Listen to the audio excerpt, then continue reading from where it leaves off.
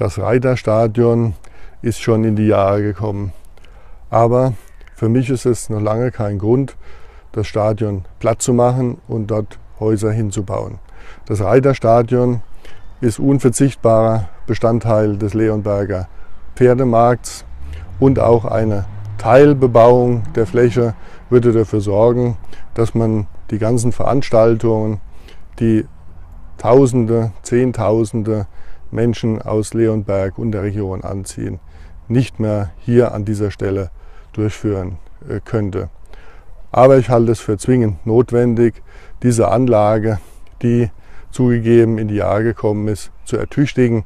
und natürlich auch nicht nur während